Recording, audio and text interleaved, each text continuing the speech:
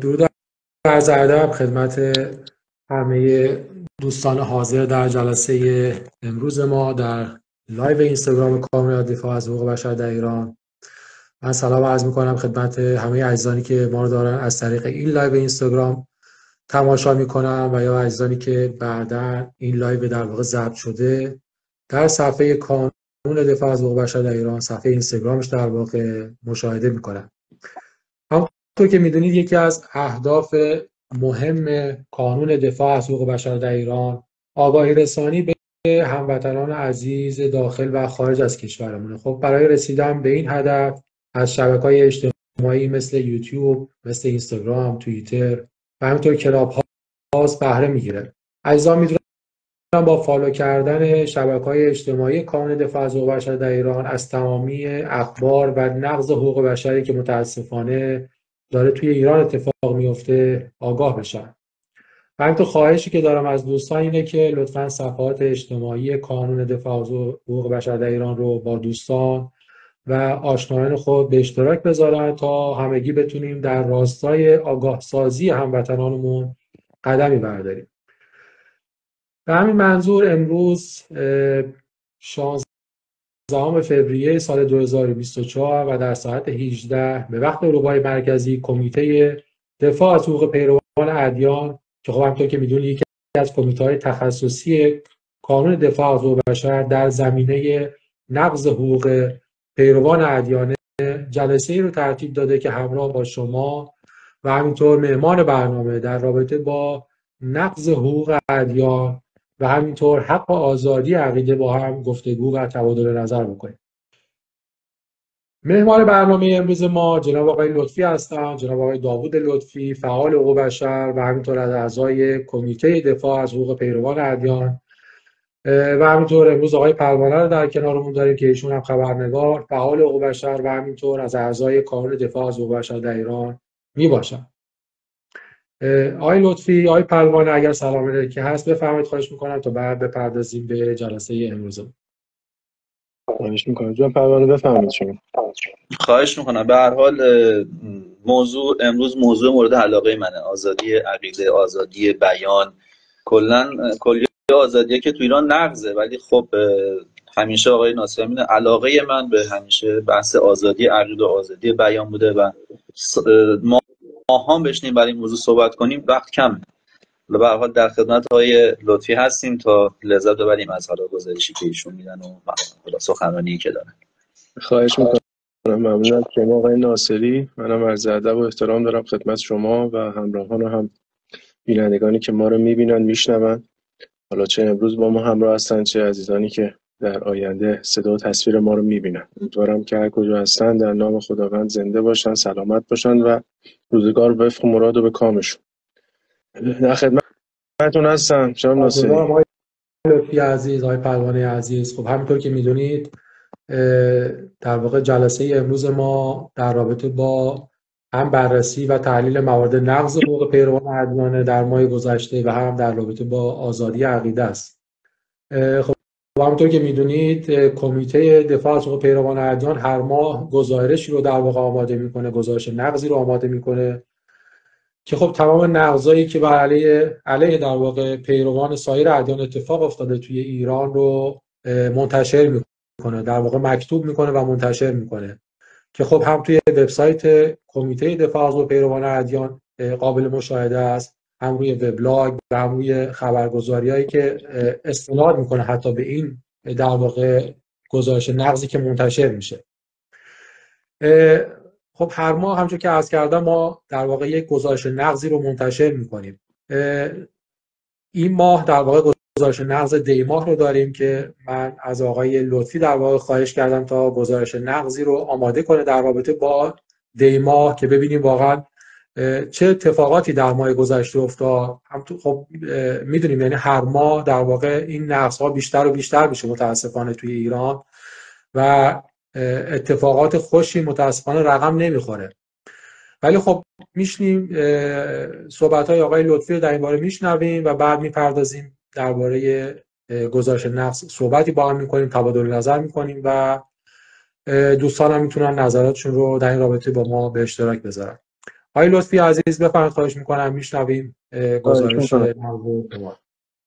من قبل از اینکه گزارش رو شروع کنم یه کوتاه خلاصه در مورد سری موادی که در قانون اساسی جمهوری اسلامی ذکر شده در مورد مبحثی که داریم و همینطور مواد اعلامیه جهانی حقوق بشر یه سری توضیحات یه سری صحبتهایی رو می‌کنم. بعد چند تا اهم اخباری که در ماه گذشته اتفاق افتاده به صورت تیتروار خدمت شما اعلام می‌کنم.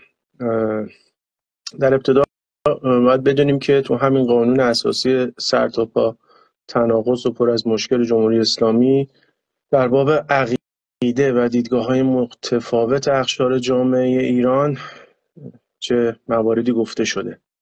تو مقدمه قانون اساسی اینگونه عنوان شده. حکومت از دیدگاه اسلام برخواسته از موضع طبقاتی و سلطگری فردی یا گروهی نیست بلکه تبلور آرمان سیاسی ملتی همکیش و همفکر که به خودش سازمان میده تا در روند تحول فکری و عقیدتی راه خودش رو به سمت یک هدف نهایی که همان حرکت به سوی خداونده باز کنه. خب در همین جا میگه ملت همکیش و همفکر یا در میگه روند تحول فکری و عقیدتی. همفکر با دیدگاه اسلام باشه یعنی خارج از اون اگه باشه از نظر قانون اساسی که ثبت شده این تناقض داره. در ادامهش میگه که توجه به ماهیت این نهزت بزرگ منظورشون نهزت اسلامیه. قانون اساسی تضمینگر نفی هر گونه استبداد فکری اجتماعی و انحصار اقتصادی. خب این قانون اساسی که بر مبنای جمهوری اسلامی بر مبنای اون تفکر اسلام و باور اسلامش نوشته شده حکومت اسلامی نوشته شده میگه نفی هر گونه استبداد فکری. خب دوباره ما این رو به وضوح در این 45 سال گذشته می‌بینیم که دقیقا این استبداد فکری و مطلقه توسط رهبر اون مجموعه بر جامعه حاکم و حکمفرماست. حالا در اصل سه در ادامش در بند نهش نوشته شده رفع تبعیضات ناروا و ایجاد امکانات عادلانه برای همه در تمام زمینه های مادی و معنوی که باز این هم مطابق با چیزی که امروز ما در جامعهمون داریم می‌بینیم نیست. از طرفی به طور واضح و صریح در اصل 11 قانون اساسی اعلام کرده همه مسلمانان یک امتن. دولت جمهوری اسلامی موظف سیاست کلی خودش رو بر پایه ائتلاف و اتحاد ملل اسلامی قرار بده و کوشش به عمل بیاره تا این وحدت سیاسی اقتصادی فرهنگی جهان اسلام رو تحقق ببخشه. حالا یعنی چی؟ یعنی هیچ عقیده و دیدگاهی به غیر از اسلام نباید باشه و در نهایت تمام دنیا رو باید اسلام فلا بگیره و همه مسلمان بشه خب. جالبش اینجاست که در اصل دوازده تا چهارده درباره گفتمان و افکار نویسندگان این قانون میشه به نوعی اون دیدگاهشون رو دید. تو اصل 14 اعلام اصل 12 اعلام می‌کنه دین رسمی اسلام مذهب جعفری اسناشری و در این و این بلا ابد غیر قابل تغییره. این اتفاقی که در بحث مذهب حاکم بر جامعه ایران میفته. و مذاهب دیگر اسلامی اهم از حنفی شافعی مالکی حنبلی و زیدی دارای احترام کاملا و پیروان این مذاهب. جالبش اینجاست. پیروان این مذاهب در انجام مراسم مذهبی طبق فقه خودشون آزادن و تعلیم و تربیت و احوال شخص شخصیشون رو حالا ادامه میده تا جلوتر. بعد میگه در هر منطقه که پیروان هر یک از این مذاهب اکثریت داشته باشن مقررات محلی در, در حدود اختیارات شوراها بر طبق اون مذهبه. و با حفظ حقوق پیروان سایر ادیان ادیان همون حنفی و مالکی. اما درست در اصل سیزدهش برمیگرده. یک باره کلمه پیروان مذاهب رو تقلیل میده به اقلیت های دینی. میگه ایرانیان زرتشتی کلیمی مسیحی فقط هم همین سه مورد رو نام می‌بره در متن بند اصل سیزده. تنها اقلیت های دینی شناخته شده هستند.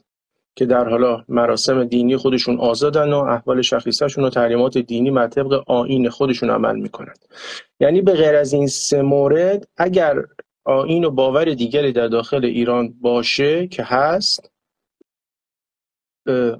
به رسمیت شناخته نمیشه و هیچ گونه بابت عقیده و دیدگاهشون حق ارائه ای ندارن. مانند بهاییان عزیز یا عزیز و حالا یمانیان عزیز و سایر حالا اخوادیت فکری که حالا به صورت کوچیک هم حتی وجود دارن در اصل چهارده دوباره میگه دولت جمهوری اسلامی و مسلمانان موظفن نسبت به افراد غیر مسلمان با اخلاق حسنه و عدل اسلامی عمل کنند که ما به وضوح داریم نمونه بارز اون رو در برابر تک به تک این حالا مسیحیان حتی اونهایی که شناخته شدند پیروان مسیحیان زرتشتیان یا کلیمیان در هم که شناخته نشدن که مثل بهاییان که به صورت کامل ما عنوان می‌کنیم در ادامه که چه اتفاقاتی برای این عزیزان داره به هر ماه متاسفانه میفته ما عدل و عدالتی نمی‌بینیم در بحث رفتار با این موارد. در اصل 23 هم که دوباره در قانون اساسی اومده تفتیش عقاید ممنوع. هیچ کس را نمی‌توان به صرف داشتن عقیدی مورد تأخذ تعرض و مؤاخذه قرار داد. خب تو همین چند مورد کوتاه میشه اینجور برداشت کرد که چه اتفاقی تو جامعه بزرگ ایرانی از بعد از انقلاب ننگین 57 تا به امروز افتاده و اون فرقه مذهبی آخوندی تا به امروز چه بلاهایی سر انواع عقاید مختلف. جامعه ملت ایران داره قومیت های مختلف با عقیده های مختلف حالا با طرز فکر و دیدگاه و مذهب مختلفه. که همه اینها متاسفانه دچار در این 45 سال گذشته دچار مشکل بودن. حالا ما یک کوتاه هم در مورد این سه مورد از مواد سیگانه اعلامیه جهانی حقوق بشر هستش که مربوط به کمیته ما میشه که اینا رو من اولش اعلام می‌کنم که بعد در ادامه اخباری که می‌خوام اعلام کنم میگیم مربوط به کدوم یکی از این مواده. یکی ماده دوم اعلامیه جهانی که میگه عدم تبعیض هر کس می‌تونه بدون هیچ گونه تمایز خصوصا از حیث نژاد رنگ زبان جنس مذهب عقیده سیاسی یا هر عقیده دیگه ای تمام حقوقش به صورت رسمی شناخته شده میشه و از همه آزادی ها در جامعه بهره ماده سه میگه حق حیات برای همه هر کسی حق زندگی آزادی و امنیت شخصی و اجتماعی داره. و ماده 18 میگه حق آزادی عقیده. هر کسی حق داره که از آزادی فکر وجدان و مذهب بهره بشه این حق متضمن آزادی تغییر مذهب یا عقیده و ایمانش هم هست. حالا شامل تعلیمات مذهبی و اجرا مراسم و مواد دیگه. ماده 19 هم حق آزادی بیانه که موضوع بحث امروزمونه که در ادامه بهش می‌رسیم. حق آزادی عقیده و بیان شامل اونه که هر کسی از داشتن عقاید خودش بیم و استرابی نداشته باشه و در کسب اطلاعات و افکار رو در اخص و انتشار اون به تمام وسایل ممکن بدون ملاحظات مرزی آزاد باشه. خب قانون اساسی که باید بر مبنای این سه سی اعلامیه مفاد اعلامیه جهانی حقوق بشر نگارش نگارش می شده و به قولی استفاده می شده و به اجرا در می اومده متاسفانه کاملا از اون مقدمش تا به انتهاش خلاف اون چیزی هستش که باید باشه. تا اینجا حالا باز اگر دوستان نظری دارن در این مورد بشنویم. اگه نه که من چند تا اخبار رو که متن نظر کوتاه بگم که وقتی جلسه رو نگیرم بتونیم به موضوع بحثمون بپردازیم. آقای ناصر پالوانه خواهش می‌کنم. نه اتفاقا خواستم اخبار بشنوم. فقط یه نکته حالا جالب بود برام. حالا داشتید می‌گفتین در رابطه با اصل دوازدهم در واقع اون جایی که اون مذاهبی بله. که حالا ایران جمهوری اسلامی در واقع به رسمیت می‌شناسه حق اختیاراتشون رو به شوراهای اون منطقه داده. بله. خواستم بگم حالا خب ما داریم دیگه. الان توی سیستان و بلوچستان اون که تقریبا میشه گفت بیش از 90 درصد سنی مذهب هستن توی اون منطقه یا توی کردستان. عملا داریم می‌بینیم که واقعا هیچ مقام رسمی یعنی کسی که واقعا سمت دولتی داشته باشه اونجا هیچ وقت نمی‌تونه اصلا به یه جایی به یه مقام پست به یه پست دولتی برسه. بله. در بحث مذهبی هم همینجور. حتی امامان جمعهشون از تهران تعیین میشه که چه کسی باید امام جمعه حالا شهر زاهدان یا بقیه مناطقش باشه. خواستم بگم اینا هم همش روی کاغذه یعنی فقط روی کاغذ یه چیزی نوشتن که بگن ما حالا اینا رو به رسمیت می‌شناسیم و بهشون بها میدیم و بهشون اختیارات دادیم. ولی در عمل داریم می‌بینیم که اصلا این اتفاق هیچ وقت نه افتاده و نه با وجود جمهوری اسلامی نخواهد افتاد. همین نکته رو بکنم. آقای لطفی است خواهش می‌کنه. در ماهی که گذشت در ده ماه گذشته بیش از هفتاد مورد ما اخبار نقض رو داشتیم در کمیته خودمون پیروان ادیان که حالا این اخبار عزیزان اگه بخوان می‌تونن روی سایت کانون دفاع از حقوق بشر حالا تو بخش کمیته بخش کمیته ها کمیته ادیان در صفحه مربوط به کمیته این اخبار به صورت روزانه حالا دوستان زحمت می‌کشن آپلود می‌کنن در دسترس هستش می‌تونن مطالعه کنن. این گزارش هم در فکر می‌کنم تاریخ 22 یا 23 ژانویه روی سایت قرار بارگذاری شده و در دسترس هست می‌تونن عزیزان به صورت آماری و به صورت کلی اون رو ببینن. برای راحت تر به نوعی به راحت تر راحت تر شدن و راحت تر بیان کردن این گزارش عزیزان چهار تا دسته عنوان کردن چهار تا تیتر بهش دادن این گزارش رو. چهار تا به نوعی به چهار قسمت تقسیم شده. یکی بحث اهل سنت یکی بحث بهاییانه و بعد مسیحیان و بعد سایر پیروان. که حالا تو هر قسمتش شما می‌تونید اخبار و اخبار مربوط به خود اون قسمت رو بخونید و مشاهده کنید. اولین خبری که حالا امروز در خدمتتون هستم مربوط به اهل سنت احضار و بازداشت رارنده آقای مولوی عبدالحمیده که در توسط ماموران اطلاعات زاهدان در روز پنجشنبه هفت دی ماه اتفاق افتاده. ایشون آقای عبدالحمید اسمالزهی نام دارن که احضار شدن به اطلاعات زاهدان دستگیر میشن. بعد از گذشت چندین ساعت متاسفانه اونایی که همراهشون بودن اطلاع ابراز بی اطلاعی کردن از حال احوال این بند خدا. حدودا یک هفته قبلش هم دوباره در ایست که در بین راه بوده ایشون رو نگن میدارن و دوباره اونجا هم چندین ساعت از ایشون بازجویی می‌کنن بدون هیچ دلیل و مدرکی. فعلا هم در بازداشت داره اطلاعات زاهدان این بنده خدا خب از بعد از اون قضیه متاسفانه جمعه خونینی که در سال گذشته زاهدان اتفاق افتاد در مسجد مکه زاهدان به هر طریقی این دولت و اطلاعات سپاه می‌خواد نفوذ کنه به عوامل اجرایی این حوزه و به نوعی می‌خواد از مورد ترس قرار بده اونها رو حالا به نوعی از کارها و حرفایی که می‌زنن یا اموراتی که انجام میدن اونها رو باز معروف دور کنه و اونها رو منصرف کنه. حالا به نوعی بتونه تحت فشار قرار بده دنبال این جرمه بودن. تحت فشار قرار بده. که خب تا به امروز موفق نشده خوشبختانه. خبر بعدی ممانعت نهادهای امنیتی از سفر حاکم شرع مردمی کردستان به خارج از کشور که در ادامه فشارها به فعالین مذهبی اهل سنت نهادهای امنیتی تو فرودگاه بین المللی خمینی مانع از سفر آقای کاکسن امینی حاکم شرع مردم کردستان و همراهشون آقای کاک هاشم حسین پناهی شدند. به خارج از کشور این دو تا فعال مذهبی کردستان به دعوت اتحادیه جهانی علمای مسلمین به قطر می‌خواستن مسافرت کنن که متاسفانه پاسپورتاشون گرفته میشه مورد بازجویی قرار می‌گیرن و فعلا علیرغم اینکه حتی کارت پروازم براشون صادر شده بوده ولی در هنگام سوار شدن از ممانعت میشه و اونها رو به نوعی گذرنامه‌هاشون رو توقیف می‌کنن و از این سفر باز میمونن.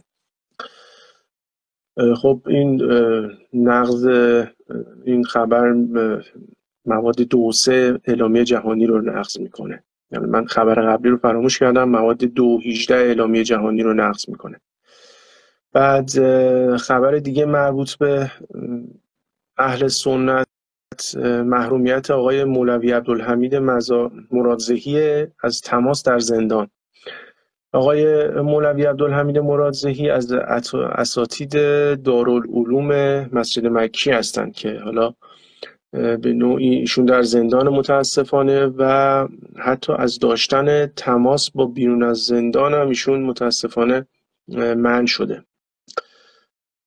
شیش ماه از زمان بازداشتشون میگذره در زندان انفرادی وزارت اطلاعات تحت انواع شکنجه های روحی و جسمی بودند و بعد از اون به وکیل زندان وکیل آباد مشهد هم انتقال پیدا کردن در حال حاضر و هنوز در این چند وقت گذشته حتی اطلاعاتی از وضع سلامتی ایشون هم در دسترس نیست. که خب این خبر مواد 6 7 9 اعلامیه جهانی حقوق بشر رو متاسفانه نقض می‌کنه. مورد بعدی در مورد حالا به بهاییان می‌پردازیم. نمی‌خوام زیاد وقت جلسه رو بگیرم. خیلی کوتاه. خب بهاییان توی ایران میشه گفتش که آمار بسیار زیادی داره آین بهایی. ولی متاسفانه به عنوان یک فرقه مرتد از اونها یاد میشه. حالا اونهایی که اطلاعات ندارند بخوایان به دنبال صلح هم قدرت سیاسی نمی‌خوان تهدید امنیتی ایجاد نمی‌کنن. با این حال متاسفانه جمهوری اسلامی اونها رو تحت تعقیب قرار میده. اونها رو از حق تحصیل کار تمام امورات اجتماعی ممنوع کرده و حق تحصیل که یکی از حقوق اصلی بنیاد معروف حقوق بشره مواد 26 و 27 اعلامیه جهانی اوورده شده و همینطور تو بند 9 ماده 19 میثاق هم اومده میثاق حقوق بشر حقوق مدنی و سیاسی. ولی متاسفانه همچنان این عزیزان در ایران دچار مشکل هستند.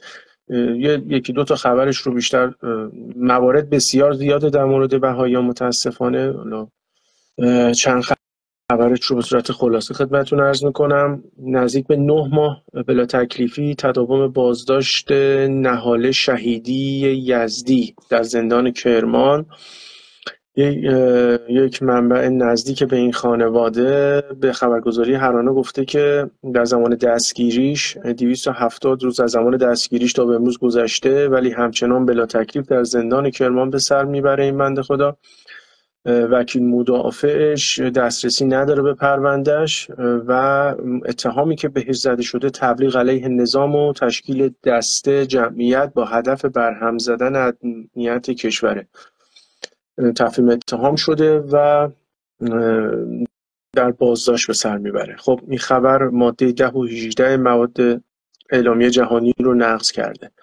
مورد بعدی بلا تکلیفی خانم یکتا فهندش سعدی شهروند بهایی اهل شیرازه که ایشون هم در متاسفانه هنوز در بازداشته و بیش از یک هفته از زمان دستگیری این سرکار خانم میگذره. در بلا تکلیفی اطلاعات در بازداشتگاه اطلاعات شیراز موسوم به پلاک صد. حالا عزیزان شیراز دقیقا توصیف پلاک صد رو می‌دونن. عزیزی که همیشه یادمون هست و عزیز آقای نوید افکاری جا داره اینجا یاد کنیم از ایشون که روزگار سختی رو متاسفانه در اونجا گذروندن. تا به حالا زمانی که این گزارش داشته تنظیم می شده متاسفانه خبری از وضعیت سلامتی این بنده خودم در دسترس نبوده. این خبر هم مفاد 9 و 18 اعلامیه جهانی رو نقض کرده. خبر بعدی تشکیل پرونده قضایی برای زوج بهایی ساکن گنبد کابوس آقای امیلین امیلیا نیانان و هومن طائف شهروندان بهایی با تشکیل پرونده قضایی علیه خودشون مواجه شدند. روز در روز دوم دیماه یه پیامکی دریافت می‌کنن که از این پرونده مطلع میشن از اداره از دادگاه.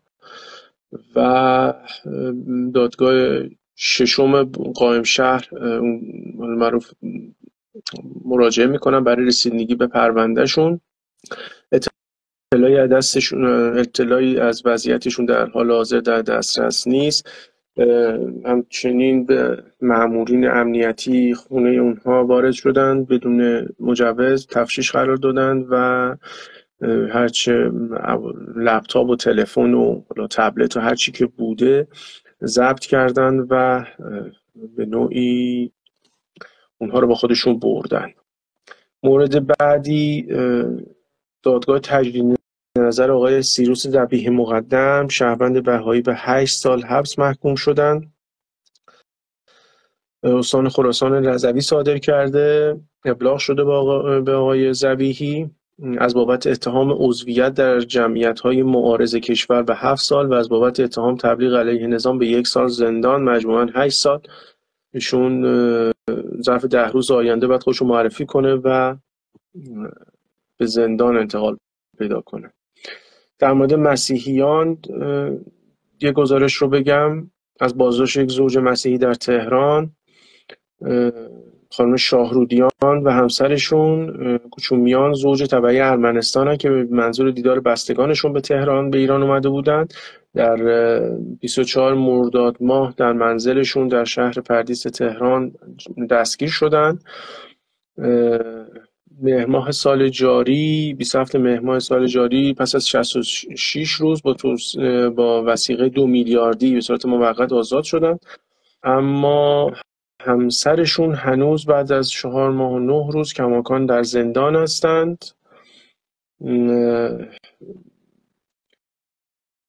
ناپدید شدن آقای سیروس خسروی گزارش بعدی پس از احضار به دادسرا و بازداشت سه نوکیش مسیحی دیگه. تو ملار یه مورد داشتیم تداوم بازداشت و بیخبری از وضعیت چهار نوکیش مسیحی. به خوبیتشون آقای خسروی 50 ساله و دو فرزند ایشون ملقب به تیمور و کوروش هستن که تبع افغانستان و متعهل بودن که اینها هستن در اواخر آذر ماه توسط اطلاعات سپاه وارد یک کلیسای خونگی شدند و اقدام به بازداشت این افراد کردند. در مورد یه جالبه در این گزارش گفته ایران در رتبه نهم جهان در آزار و جفای مسیحیان. این گزارش رو من خیلی مختصر می‌خونم. سالانه سازمان جهانی مسیحی درهای باز که روز چهارشنبه 27 دیما منتشر شده جمهوری اسلامی رو نهمین کشور مسیحیت ستیز در جهان دونسته. ایران در گزارش سال گذشته در رتبه هشتم قرار داشته و سال پیش از این حیث نهم شده. مسیحیان در جفا وضعیت مسیحیان در جفا در پنجاه کشور جهان رو بررسی می‌کنه این سازمان. در فهرست سالانه دیدبان جهانی آزار مسیحیان درهای باز منتشر شده. کره شمالی مانند سال گذشته صدر جدول سومالی لیبی در رده های بعدی قرار دادن. اریتره یمن نیجریه پاکستان سودان و بعدش هم ایران. حالا متن کاملش شما می‌تونید روی سایت اون رو ملاحظه کنید. فقط یه اطلاعات آماری بگم. در سال 2023 بیش از 120 نفر از شهروندان مسیحی متاسفانه دستگیر شدن در ایران. 23 کلیسای خانگی جمع شده و آمار کاملترش روی سایت هست. در مورد پیروان سایر ادیان یارسان یه مورد رو خدمتتون ارز کنم. حکم اعدام آقای رضا رسوهی جوان کرد پیرو آین یارسانه در دیوان عالی متاسفانه ایشون. معترض 34 ساله اهل کرمانشاه هستند که توسط شعبه 17 دیوان عدالت اداره جمهوری اسلامی تایید شده. عدالت دیوان عالی عدالت. خانوادهش هم تایید کردند. نادر بایرامی روز شنبه در حین سرکوب این به تمام قتل آقای نادر بیرامی این آقا دستگیر شده آقای رسای متاسفانه که حالا اینها همه اتهام هیچ اتفاقی نیفتاده یعنی ایشون تقصیری هم نداشته. این یه مورد و در مورد پیروان مذهب یمانی هم یه مورد رو خدمت شما عرض کنم و تموم کنیم. بحثمون رو مهدی مسافر از پیروان مذهب یمانی توسط نیروهای امنیتی دستگیر و به مکان نامعلوم منتقل شده. تا به امروز خبری ازشون نیست. این خبرم که خب طبق باقی گزارشات مواد 18 و 12 رو اعلامیه جهانی رو نقص کرده. فقط از بابت اینکه عزیزانی که دوست دارن بدونن پیروان مذهب یمانی چیه بگم که این تفکر یمانی نوعی از باور مذهبی مسلمان های شیعه است که به باور اونها سید یمانی شخصیتیه که به همراه دو نفر دیگه میگن چند وقت قبل از اینکه حالا امام زمان باوری که دارن مسلمان ها ظهور کنه این عزیزان میان و دعوت می‌کنن همه رو به حق حقیقت. حالا اینها هم حتی دچار مشکل است. این خیلی خلاصه بود در مورد گزارشات اتفاقاتی که در دیماه افتاد. اگر باز موردی هستش من میشنوم شما عزیزان. ممنون از وقتی که در اختیار من گذاشتید. ممنونم آقای لطفی عزیز سپاسگزارم. فقط من آقای پروانی یه نکته بگم من چون شما رو نمی‌بینم اگر که تصویرتون ندارم. اگر خواستین صحبت کنید می‌تونید مایکتون رو باز کنید صحبت کنید. فقط خواستم این نکته رو متذکر بشم. ممنون آقای لطفی عزیز در رابطه با گزارش که ارائه شدید ارائه دادید. همونطور که شما فرمودید متاسفانه نقص توی جمهوری اسلامی ایران کم اتفاق نمیفته هر ماه ما شاهد نقضای بسیار زیادی هم در رابطه با پیروان ادیان هم توی سایر بخش ها هستیم. و خب دلیلی که حالا امروز در واقع به این ترتیب جلسهمون رو پیش بردیم که ابتدا گزارش نقض داشته باشیم و بعد بپردازیم به حق آزادی عقیده. خب اخباری که شما الان بیان کردید و توی گزارش هست تقریبا میشه گفت 99 درصد نقضی که داره اتفاق میفته توی ایران. همش بر پایه و اساس نقض حق آزادی عقیده است. حق آزادی بیانه که داره اتفاق میفته یعنی تمام احکامی که صادر شده حالا چه اعدام باشه چه حبس باشه همه و همه مبنای بر نقض حق آزادی عقیده است. تمام عزیزانی که الان حالا چه در پروسه رسیدگی به پروندهشون هستن چه توی زندان هستن چه متاسفانه جونشون رو دست دادن همگی به نوعی فقط عقیدهشون رو بیان کردن. و خب عقیدهشون چون یه جورایی در تضاد با عقیده جمهوری اسلامی خب به مذاق آقایون خوش نیومده و خب تصمیم بر این داشتن که اون شخص رو حالا به هر نحوی حذف کنن. حالا یا زندان یا حالا حکمای دیگه که صادر می‌کنن. در رابطه با نقص متاسفانه خیلی زیاده. در رابطه با حق تحصیل خیلی می‌تونیم صحبت کنیم که نقض میشه توی جمهوری اسلامی ایران. بهایان شما بهش اشاره کردید که متاسفانه اجازه تحصیل ندارن توی دانشگاه ها حالا توی توی مقاطع پایینتر. خب به خاطر حالا بحث حالا توی مقاطع دبستان و دبیرستان منظورم که پایینتره. خب حالا خیلی رو مجبور می‌کنن که عقیدهشون رو یه جورایی مخفی کنن و ابراز نکنن. حالا بهشون اجازه تحصیل تو مقاطع داده میشه ولی بالاتر که میان و می‌خوان وارد دانشگاه بشن اولین کاری که می‌کنن یه فرمی رو جلوشون می‌ذارن که در واقع مذهبتون رو بنویسید. یعنی اون شخص یا باید دروغ بگه عقیدهش رو باید مخفی بکنه پنهان بکنه و یا اینکه بیاد بنویسه و عقیدهش رو بیان بکنه. خب در هر دو صورت متضرر میشه. اگر بیان بکنه خب از حق تحصیل محروم میشه. اگر بیان نکنه و به حق تحصیلش می‌پردازه خب از اون طرف حق آزادی بیانش حق آزادی عقیدهش نقض میشه. و خب موارد بسیار زیادی که متاسفانه داره اتفاق میفته به ایران.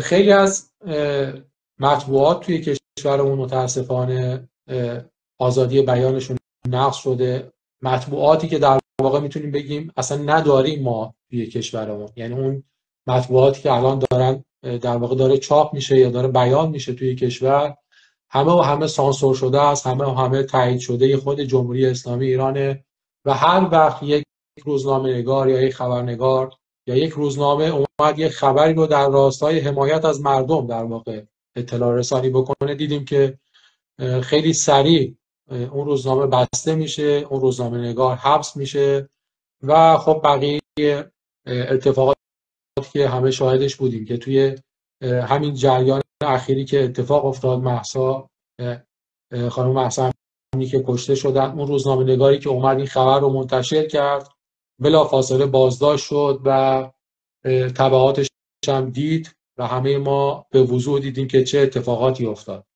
در این زمینه حالا می‌خوام که با آقای پلوانه هم صحبت بکنیم. آقای پلوانه خب در واقع خبرنگار هستن و بودن و هستن در واقع و خب در این زمینه می‌تونیم خیلی بیشتر در این مورد باشون صحبت بکنیم و خب هم تجربه دارن تو این زمینه هم که می‌تونیم نظرات ایشون رو هم بشنویم. آقای پروانه عزیز بفرمایید خواهش می‌کنم. میشنویم شما. خواهش من اول که در خصوص حالا مطلب قبلی که آزادی حالا عقیده بود من یه نکته اضافه کنم. خب تو جمهوری اسلامی طبق قانون اصل حالا چهارم اومده که تمامی ادیان حالا آزادن چه لحاظ قوانین جزایی چه لحاظ قوانین حالا مسائل اقتصادی اینها. ولی در پایان اومده گفتن که این قوانین به شرط اسلام. یعنی باز اومده اون تش اون چیزی هم که نوشته با یه اسلام نقضش کرده.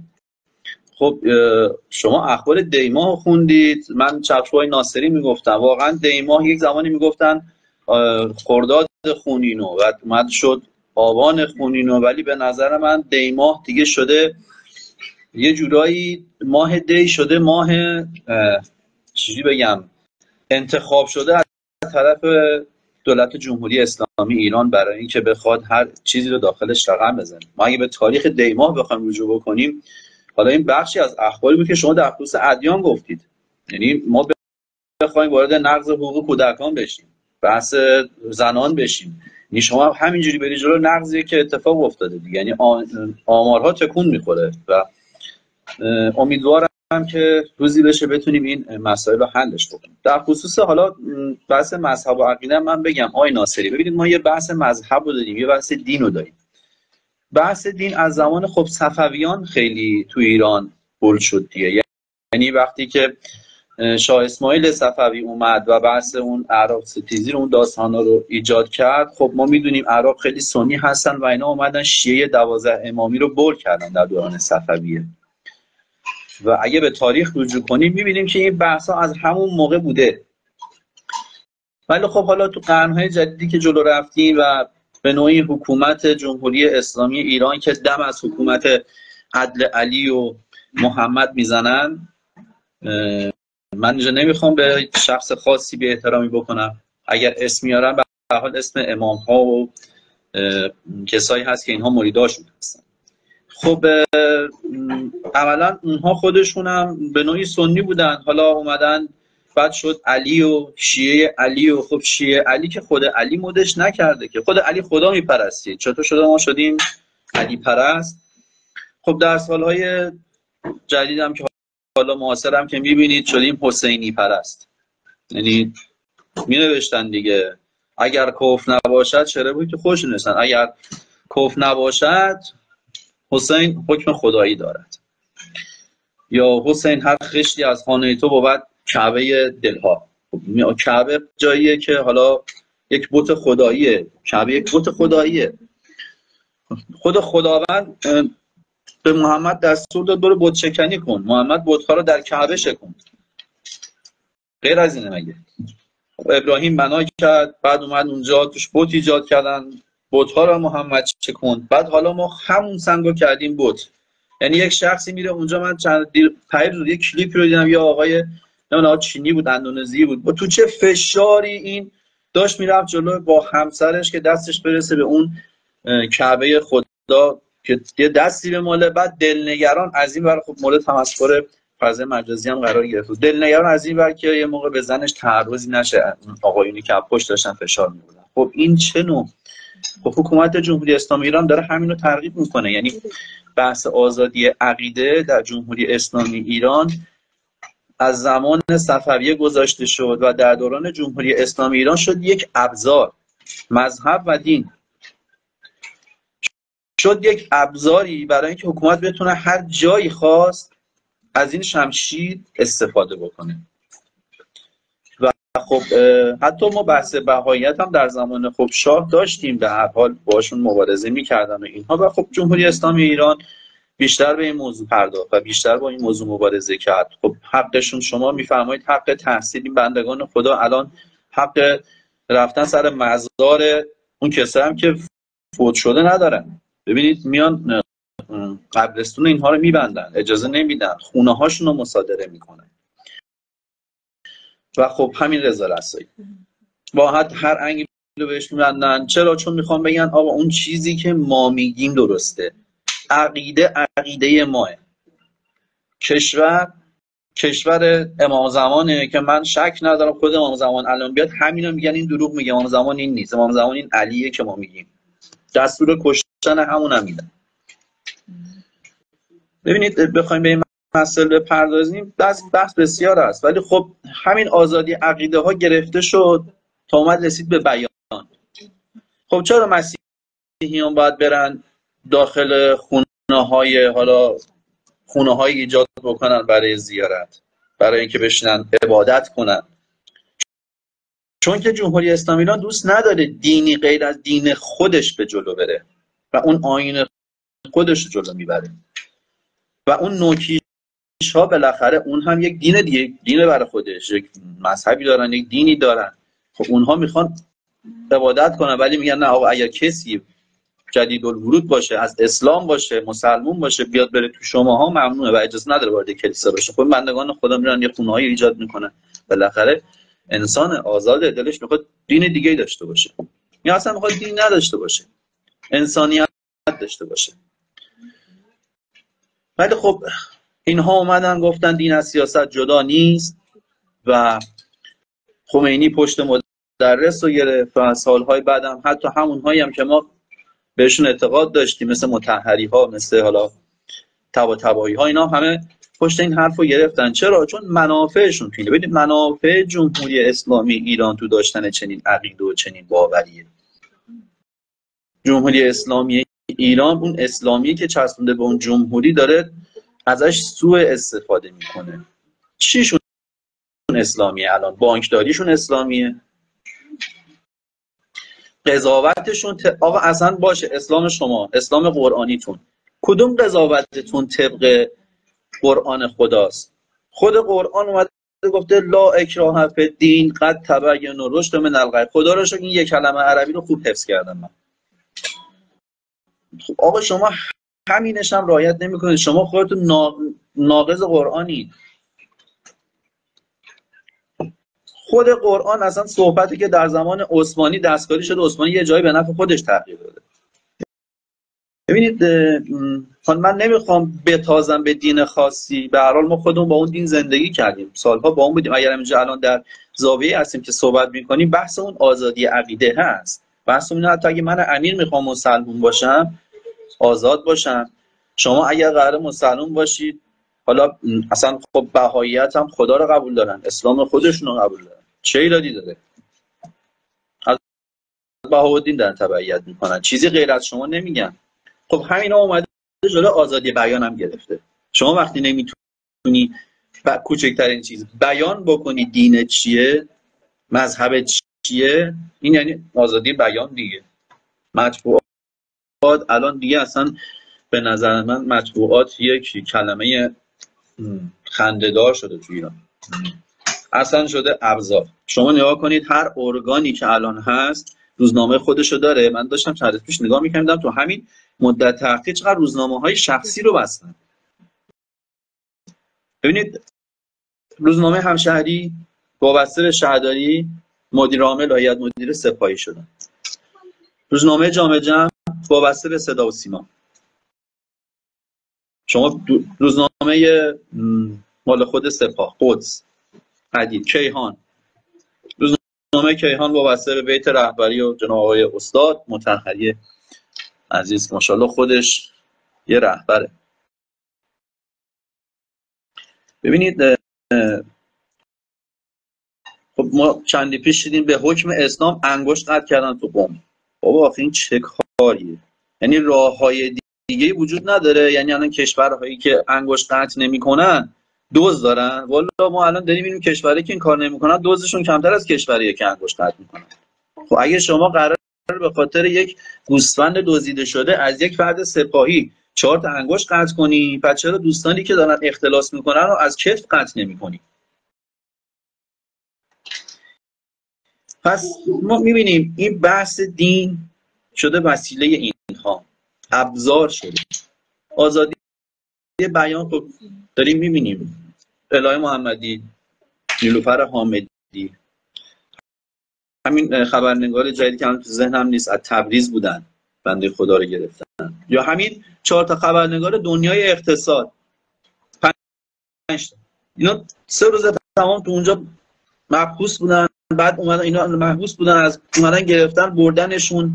هیچ جای پاسخگو نیست هیچ اطلاعاتی به خانواده هاشون نمیدن. حتی اگر قوه قضاییه یا ارگان هایی که وابستگی دارن به اطلاعات و اینها هم گرفتن قانون قضایی میگه شما موظفی به خانواده اینها اطلاع رسانی کنید. چرا؟ حالا شاید مثلا از یک اختلاسی سر در آوردن یا یک موضوعی رو روزنامه نگار اقتصادی بوده دیگه. روزنامه اقتصادی بوده. روزنامه اقتصادی اصلا اجازه نداره. ببینید شما وقتی مجوز یک روزنامه اقتصادی رو می‌گیری وقتی اونجا می نویسه حوزه فعالیت اقتصادی فرهنگی اجتماعی اجازه نداری مطلب سیاسی بدیم اون جرمه.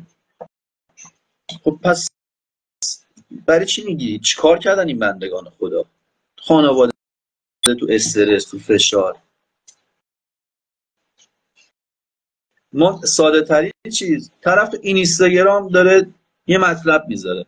آقا اون داره عقیدهشو بیان می‌کنه دیگه. هم عقیدهشو داره میگه هم برداشتشو داره میگه هم بیاناتشو داره از طریق فضای ما چون فضایی که نداریم مردم برن اعتراض کنن صحبت کنن. فضایی هم باشه خودتون میکشونید به جنجال و برخورد و ضد اسلام و ضد قرآن و اهانت به رهبری و مملکت و ادیان و اعدام. طرف پست می‌ذاره میان می‌گیرن میبرنش. یه پست می‌ذاره یه پست ساده. این چه آزادی بیانه؟ ادعای آزادی بیان هم داریم. همین چندی پیش اعلام کردن دیگه. آقا ایران آزادترین کشور مردم ایران آزاد بله آزادن. راهپیمایی دیدیم. آزاد آزاد شده. این آزادی تا انتخابات تا قبل انتا... زمان انتخابات الان گل و پر بود از ستونه طرف همین الان بره میدون آرژانتین لختن بشه تونه سخت کنه. فقط گفتن اعلام کردن. گفتن آقا ما اصلا کاری نداریم. هر کی با هر شرط بخواد رای بده مشکلی نداره. روزنامه همشهری این مطلب رو نوشت. کسانی که مطیع جمهوری اسلامی ایران هستن و عقایدشون با عقاید جمهوری اسلامی ایران برابره علاوه حجابی بی حجاب باشن مشکلی نداره این این بی حجاب ها با اون بی حجاب های هنجار شکن فرق دارن.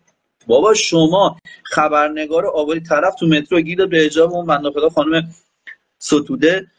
گرفتید آوردید. اونو که گرفتید بیچارهش کردید. رفت این یکی رو آوردید اونجا کردید خبرنگار. بهش تریبون هم دارید داره صحبت می‌کنه. داره براش فضا ایجاد کرد. کسی که حتی تو زندگیش یه خط بسم الله الرحمن الرحیم شما رو هم ننوشته بود. زمانی من خاطرم هست می‌خواستیم خبرنگاری بریم باید می‌رفتیم باشگاه خبرنگاران جوان. دوره می‌دیدیم. بعد باید می‌رفتیم یک مؤسسه که مورد تایید وزارت ارشاد باشه دوره ببینیم. بعد می اومدیم دوره نگارش می‌دیدیم ما. تمرین می‌کردیم برای اینکه متن بنویسیم بدون نقطه چون اون موقع مس... انقدر فضای ضبطی نبود دیگه و به خاطر اینکه استفاده از صدا نشه بعد می نوشتیم ما تمرین می‌کردیم که بنویسیم بدون نقطه. این فیلترها رو رد می‌کردیم. خب بعد خبرنگارای قوی می‌دادیم بیرون. الان چی؟ طرف تو مترو زده زیر گوش فلانی. چرا روسری ندیدیم میارن میکننش خبرنگار؟ طرف به فلانی گیر داده که چرا حجابت اینجوریه؟ میارید دبی میفرستید امارات میفرستید قطر میفرستید. همون خانم معروف شد دیگه. خانم چی بود اسمش؟ هم کردم خانم بیکاز. خانم بیکاز. بعدم میاد تو جمهوری اسلامی ایران به خانم بیکاز سمت می‌دید و میرید تو مطبوعات اینها ببینید از همه چیزی داره استفاده میشه. حکومتی که مستحصل میشه جناب ناصری جناب لطفی دوستانی که میشنوید. حکومتی که مستحصل میشه حکومتی که مشکل می‌خوره از هر چیزی استفاده می‌کنه. هر بندی رو که احساس کنه می‌تونه باهاش جلوی انسان ها رو بگیره. هر بخشی رو که احساس کنه می‌تونه ورود بکنه که مردم به نتیجه نرسن ازش استفاده می‌کنه. جمهوری اسلامی ایران الان در این نقطه خاص ایستاده. در نقطه قرار گرفته که شده یک لبه تیغ که راست و چپ بره افتاده. ببینید الان اینا موندن. هجابی قش می‌کنن. خب دو روز انتخابات. غیر هجابی کار می‌کنن. خب الان یه سری ناراحت میشه. الان میان میگن آقا به اینا که من شنیدم الان من داشتم با بستگان صحبت می‌کردم میگو الان دیگه هجابان ها نیستن تو مترو. اصلا هیچ نیست اون گیر بده. همین گل و پرقو بعد از انتخابات میشه شمشیر و چماق و اسلحه و بعد کافی بره بگی آزادی بیان. رأی من کو؟ چی؟ تو اصلا مگه رأی دادی که میگی رأی من کو آقا رأی من کو؟ من رأی دادم سال 88 تو مسیر خودتون اومدم. آقای ناصری درد زیاده تو این بحث. جناب لطفی. پروانه متاسفانه کم نیست. هرچی آدم صحبت کنه واقعا کم گفته در رابطه با این مسائل. الان با قول شما دم انتخابات و تنورشون حسابی داغه. هر هر آنچه که در توان دارن دارن رو می‌کنن. البته خب این بازی ها سالیان سالی که داره اتفاق میفته یعنی چیز جدیدی نیست الان توی بحث انتخابات. همیشه دمدمای انتخابات اصلا مملکت میشه گل و بلبل آزادی تمام به تمام معنا اصلا خیلی عالی. همه چی عالی. ولی بعد از انتخابات یهو برمیگردیم به 1400 500 سال پیش.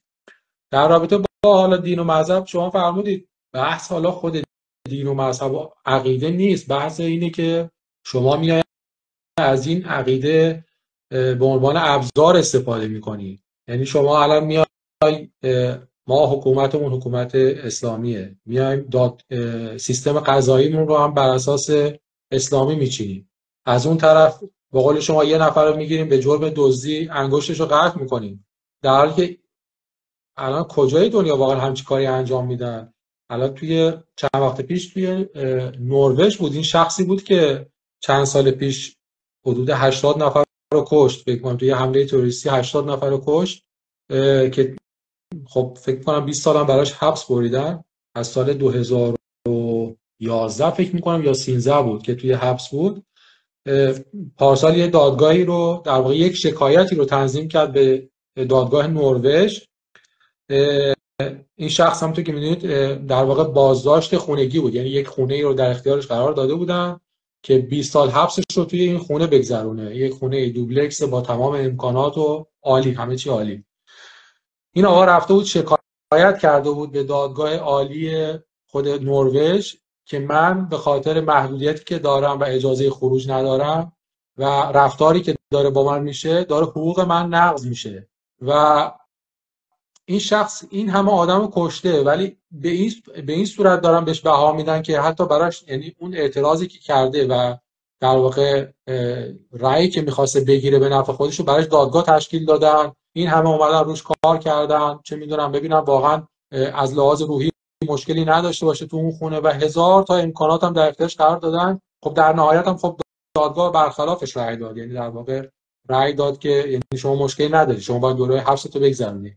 حالا منظورم اینه که اینجا این اتفاق میفته توی اکثر کشورهای پیشرفته دنیا.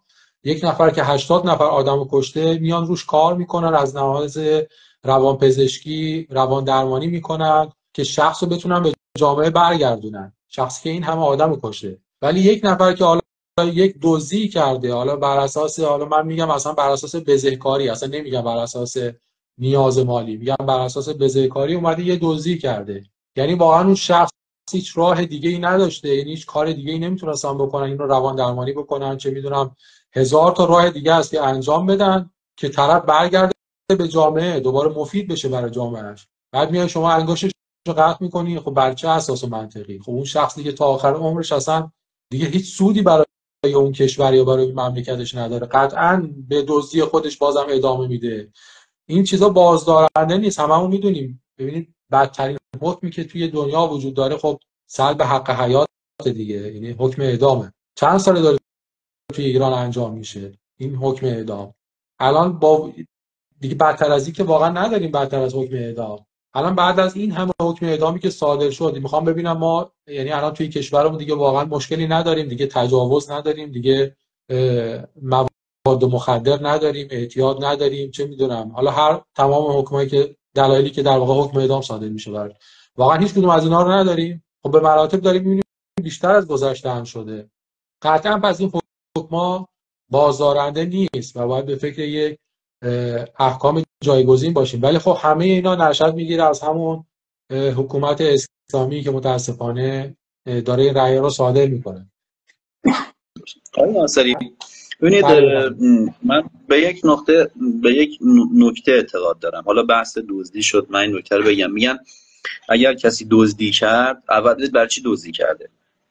اگر برای عروش شکم سیری دزدی کرده و عادت بگیرید محکومش کنید. حالا هر حکمی می‌خواید برش بذارید. اگر نه برای سیری کردن شکم خودش و خانوادهش دزدی کرده پس حاکم شهر, شهر رو بگیرید. گردن بزنید. که اون آدم.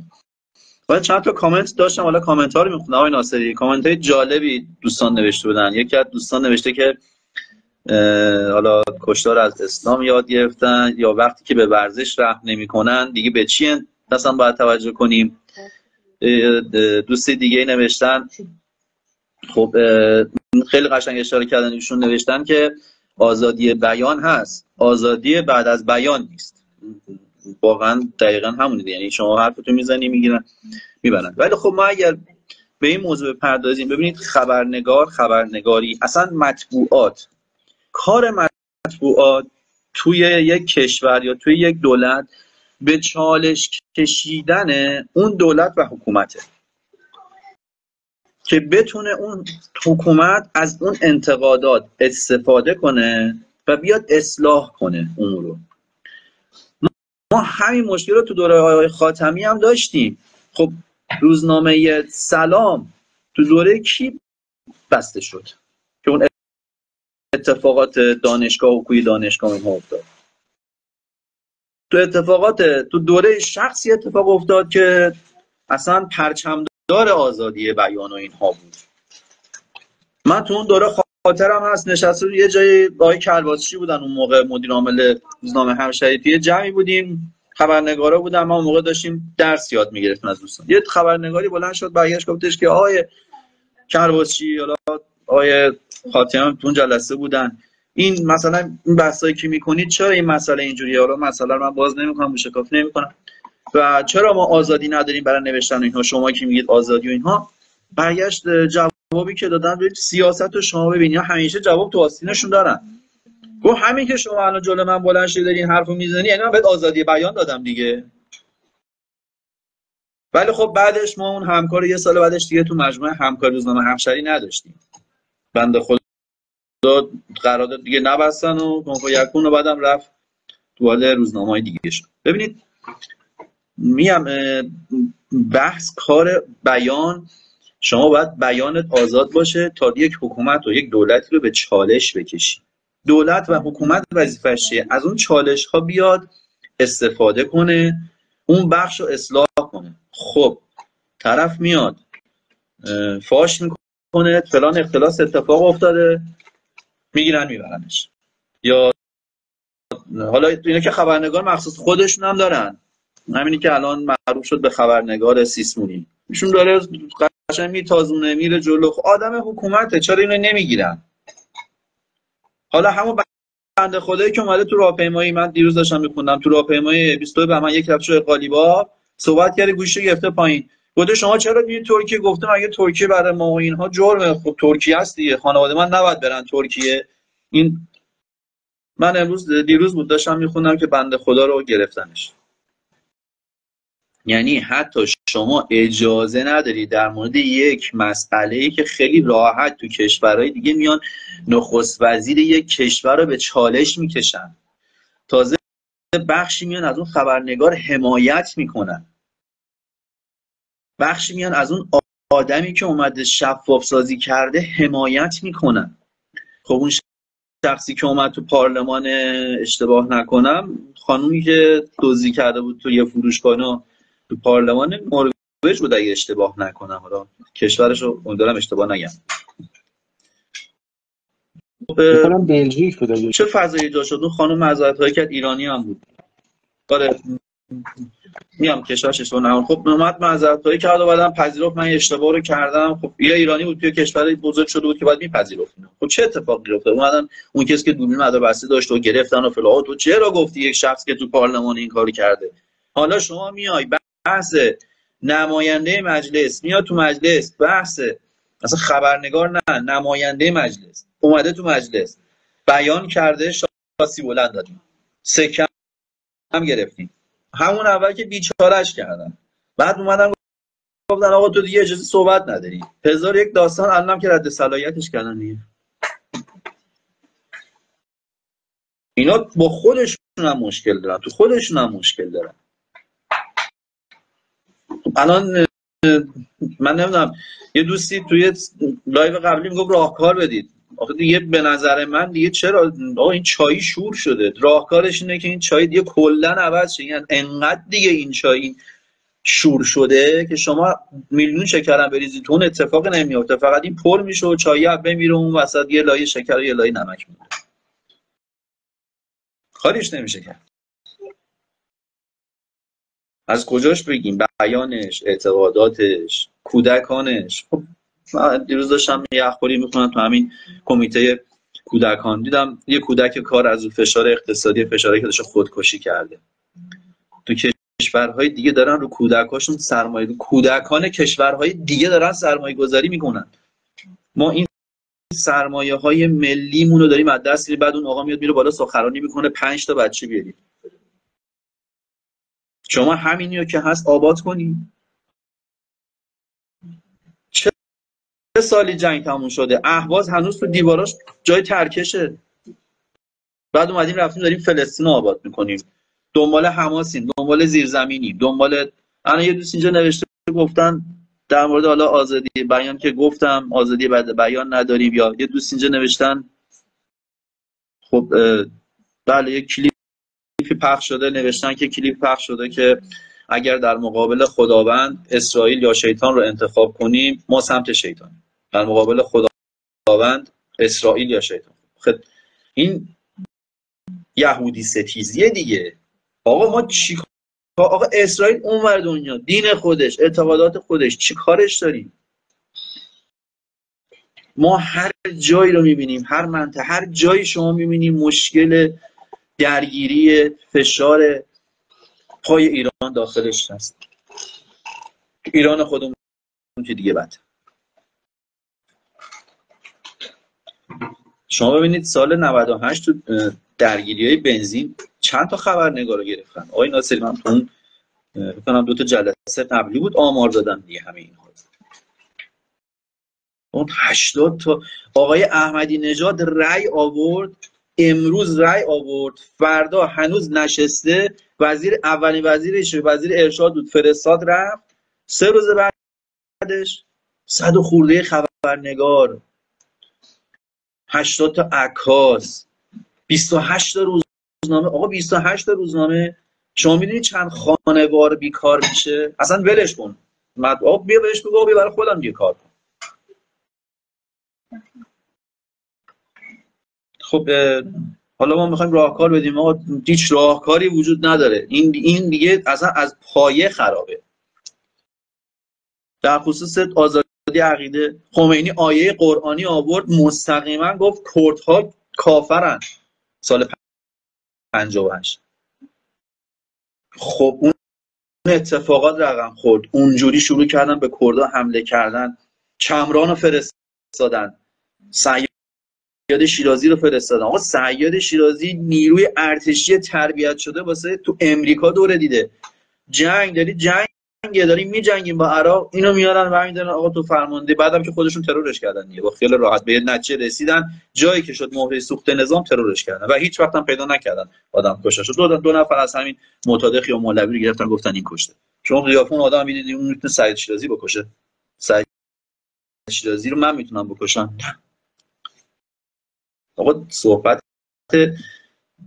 اصلا نمی‌دونم از کجا این مملکت باید بگیم از کجاش باید شروع کنیم به کجا باید پایانش بدیم. فقط امیدم به خداست. یعنی دیگه انشالله اتفاقی بیفته خداوند کمکمون کنه. صداتون نداریم آقای ناصری؟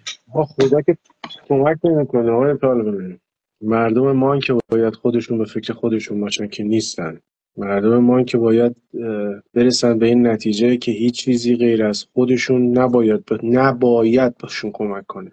هیچ نیروی خارجی نباید دخالتی بکنه. اون این باید برسن به این باور و اعتماد به نظر من که می‌تونن و انجامش می‌تونن بدن. اگر برسن به این باور و اعتماد اون اتفاق قشنگی خواهد افتاد. باید دعا کنیم که این زودتر اعتماده و اون باوره رو مردم و کشورمون کامل به دست بیارن. آقای ناصری در خدمت هر زودتر اتفاق بیفته. آقای لطفی از این بعضی از دوستان نوشته بودن آقای پروان داشت مطرح میگرد واقعا چه راهکاری میشه داد. هیچ کاریش نمیشه کرد.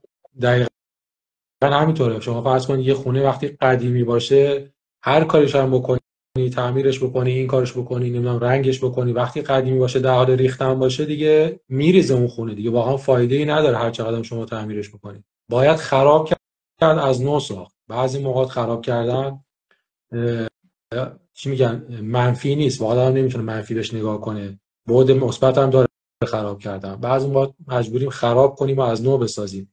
در واقع ایران هم الان همینجوری شده دیگه. به یه جایی رسیده که باید این حکومت بریز پایین و از نو ساخته بشه. یعنی دولت. حالا حکومت که نه. دولت باید از نو ساخته بشه. کسایی بیان که سر کار که واقعا شایسته باشن کسایی که واقعا آقای, آقای, آقای ناصری پایه از بیخ خرابه برادر منظورم همینه. شما, شما باید این بسته این بسته حکومت اسلامی رو کلا بسته شو بسته شو باید جمع کنی. کلا بریزی تو سلط آشغال. یعنی برشه سلسله آخوندیان کلا بری کنار. یعنی اصلا کلا این مجموعه بره. بعد مردم جمع شن فکراشونو بریزن رو هم. میگن خب حالا اینو دادیم رفت. الان ما اینو می‌خوایم. خودشون تصمیم می‌گیرن کلا سیستم باید عوض بشه کم نداریم. ما کم داریم. اقتصاددان محقق دکتر اینا می‌تونن اینا اینا باشه حقوق خارجی بلد باشه. ولی متاسفانه بها داده نمیشه. به کسایی بها داده میشه که کسایی که واقعا به قول آقای پروانه کسی که فرستاد چی بود؟ خانم بیکاز به قول به این آدما بها داده یا اون شخصی که پیروز برداشت عکس رضا رضا شاه رو برداشت آتیش زد فردا ببین چه پستی به اون شخص میدن. یا کجا از کجا سر اون فیلمش هم در اومد که بغل آقای توسی بزرگ ولی قیمت دولتی می‌گیره. فردا مشخص میشه. چند روز دیگه اونم می‌بینیم عکس سردر روزنامه هاست و یه جایی یه پستی گرفته. منظورم که این شخصا این این کسا واقعا می‌رسن به اون جایی که واقعا لیاقتشو ندارن. وگرنه ما واقعا اقتصاددان و کسی که متخصص باشه کم نداریم توی کشور ولی متاسفانه همه و همه رونده شدن به کنار. چقدر اساتید دانشگاه که توی همین یکی دو سال اخیر اخراج شدن از دانشگاه. کم نداریم درد زیاده متاسفانه. های لطفی های پروانه درد زیاده و اگه بخوایم صحبت بکنیم باید ساعت ها در مورد صحبت بکنیم و متاسفانه وقت کمه و وقت به ما این اجازه رو نمیده متاسفانه. سپاسگزارم از شما های لطفی عزیز. خیلی ممنون از شما. بابت زحمتی که کشیدید بابت ارائه گزارش نقضی که اتفاق افتاده بود متاسفانه توی دی ما و همینطور از آقای پروانه هم تشکر می‌کنم که در کنار ما بود امروز توی این جلسه. سپاسگزارم. از همه دوستان همکاران عزیزی که امروز در کنار ما بودن در جلسه امروز ما حضور داشتن و همینطور هم تشکر می‌کنم از دوستانی که بعدا این live ضبط شده رو در صفحه اینستاگرام کانون می‌بینن. خواهش می‌کنم ازشون like بکنن share بکنن. و به اشتراک بذارن با بقیه آشنایانشون تا در واقع همه ببینن چه فجایی متاسفانه داره توی جمهوری اسلامی رقم می‌خوره. سپاسگزارم همه خسته نباشید. ختم جلسه رو در ساعت 19 و 20 دقیقه به وقت اروپای مرکزی اعلام می‌کنم. سپاسگزارم و خدا نگهدار. شب همگی خوش. سلام. شب همگی خوش.